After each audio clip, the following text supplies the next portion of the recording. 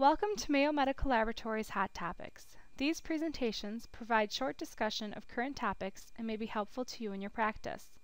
Our speaker for this program is Dr. Glenn Roberts, a professor of laboratory medicine and pathology and microbiology at Mayo Clinic, as well as a consultant in the Division of Clinical Microbiology. Dr. Roberts discusses disease-causing dimorphic fungi and how to identify them in culture. This presentation examines sporotrichosis. Thank you, Dr. Roberts. Thank you, Sarah, for that introduction. I have nothing to disclose. The diseases caused by the dimorphic fungi are, as you see here, histoplasmosis, blastomycosis, coccidioidomycosis, paracoccidioidomycosis, sporotrichosis, and penicillosis. Histoplasmosis, blastomycosis, coccidioidomycosis, and sporotrichosis are found in North America. The other two are not. Uh, paracoccidioidomycosis is found in Central and South America, and penicillosis is found in places like Vietnam and Cambodia and so on, in Thailand. The dimorphic fungi have a number of features that are in common with each other, and the growth rate is one of those. The growth rate depends upon a number of things. Depends upon how much uh, of an organism is present in a culture. It depends on the, the culture medium that you use for uh, recovering the organism, and depends upon the individual metabolism of the organism. Blood enrichment is something that we see as a, there's a need for with recovering the dimorphic fungi. Certain of them seem to have a requirement to grow better with blood enrichment, and others do not. And if they do require blood enrichment, this is uh, an interesting fact that you can recover them better, but they don't sporulate well. So you have to subculture them to, a, to another medium to allow them to sporulate. They all have very small, delicate hyphae. Dimorphic fungi all have the, this particular feature, but not all of the fungi that have small, delicate hyphae are these dimorphic fungi either. We do have nucleic acid probes, nucleic acid sequencing, and now MALDI-TOF to help us identify these organisms in addition to traditional methods which most of us probably still use and will for a while using the microscopic morphologic features and a few other things to go along with it. This image shows you small hyphae seen with the dimorphic fungi and it's hard to see that they're septate uh, but they are and they're just very tiny hyphae probably 0.5 uh, microns in size. The colonial morphologic features of the dimorphic fungi vary a lot depending upon the individual organism, the isolate, and also on the medium that's used for recovery because they look a lot different just on three different media. You'll have three different morphologic features shown on each of those different media. The colonies of histoplasma and blastomyces dermatitidis are, are indistinguishable and so we have problems with trying to use macroscopic morphology for helping us to identify these two organisms, we rely upon a microscopic morphology. This presentation will focus on Sporothrix schenckii, and this organism is a bit different than all the others too. This organism is dimorphic just like all the others that we talked about. It has a yeast and a mold form, but it is an organism that causes generally subcutaneous infection that is a result of direct trauma to an area of the skin and some exposed surface like an extremity where the organism has been introduced, the mold form has been introduced from the environment into the tissue and then it converts inside the host to the yeast form. It's found worldwide, found primarily in the tropical parts of the world, but it's found worldwide. This happens to be a yeast-like colony of the mold form of Sporothrix. Now this is something that you see pretty often with this organism. It starts to grow and you think you're working with the yeast. In fact, you actually can develop an API profile for the yeast API AUX system for identifying yeast. You can have a profile number for this particular organism because it looks like a yeast when you starts off. And here you see another yeast-like colony of Sporothrix schenckii. The name Sporothrix schenckii came from the following description. When you looked at it underneath the microscope, you noticed that the spores were produced and they were attached to a central hyphal filament by a thread-like attachment. So the spore referred to spore, thrix refers to hair or thread-like attachment, and then schenckii is the term used to describe the person who first named this organism Dr. Schenck in Baltimore. And so this is an example of one of the yeast-like colonies of Sporothrix schenckii in the mold form. Now here you see some stellate colonies or star-like colonies of Sporothrix. And all these things look different. They're all cultures of Sporothrix schenckii. And these do not appear to be all that fluffy.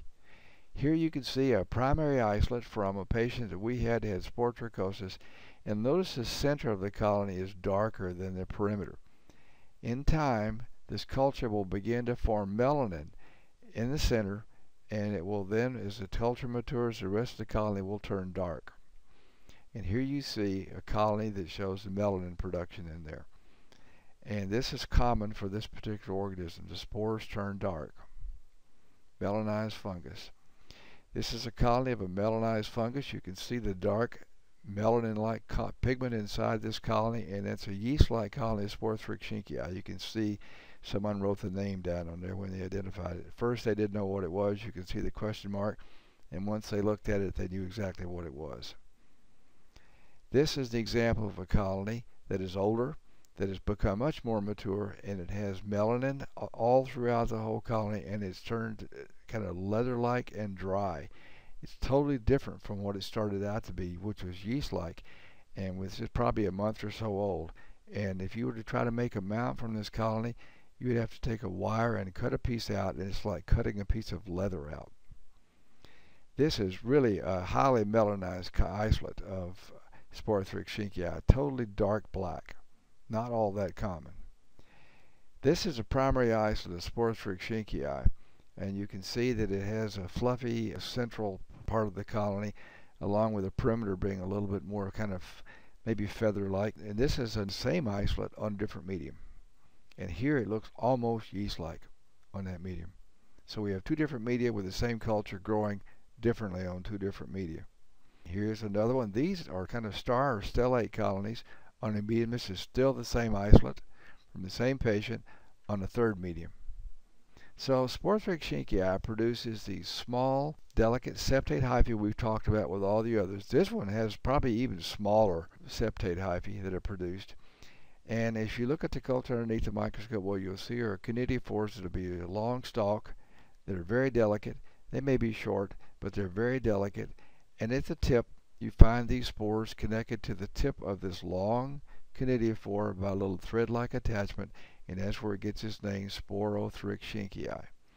As the culture gets dark, it becomes pigmented, and the conidia begin to grow all the way around the hyphal strand, just like a sleeve on your shirt and they call it the sleeve arrangement. And when it does this, then the conidia begin to turn dark because of the melanin.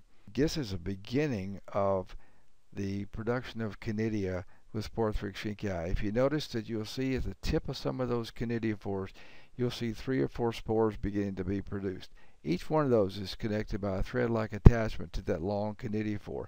And in time, there will be a cluster of those up there that we call a floweret. And here's the floweret and you can see the long stalk, that's a conidiophore, and each of those spores is still connected to that conidiophore, that long conidiophore, by a thread-like attachment. And then notice along the sides of some of the hyphae you'll see spores coming off. That's the beginning of a sleeve arrangement. This is the floweret I was talking about. You can see them all over there. There's one almost the, to the left and down a little bit to the bottom of center. That one shows you the floweret arrangement of conidia. This is kind of a good contrasting photomicrograph where you can see those conidia, the tip of a long conidiophore, and there may be three or four of them there and you don't see a total cluster, but that's how they're formed, just like that. This is the sleeve arrangement showing these melanized, darkly pigmented spores that are produced, and they're produced after the floweret arrangement of spores is produced.